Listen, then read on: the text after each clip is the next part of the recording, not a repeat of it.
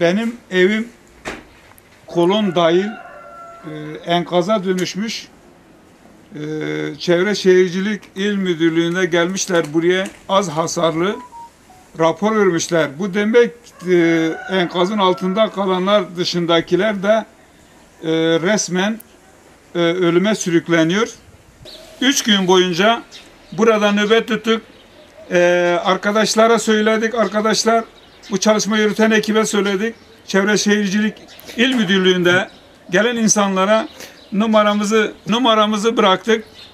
Hiç bizi matav almadan, bizi aramadan, sormadan, kapımız açılmadan hafif hasarlıdır diyerek bizi bundan sonraki süreçte de bu evin eve girmemizi sağlayan, bizi ölümle karşı karşıya getiren, resmen ölüme sürükleyen bir davranış içinde olmuşlardır.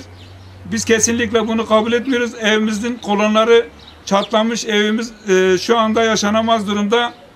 Onun için tekrar buraya e, akıl başında insanların gelip burada yetkililerin gelip burada rapor alması lazım.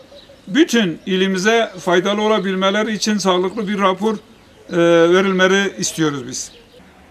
Açlık, sefalet, soğuk, halen barınma sorunu çözülmedi, tuvalet sorunu çözülmedi, su sorunu çözülmedi.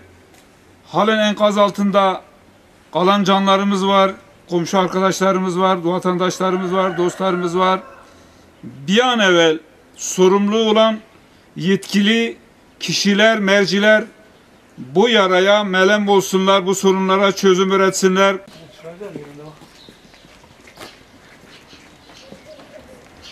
Bu durumda. Buna az hasarlı rapor veriyorlar.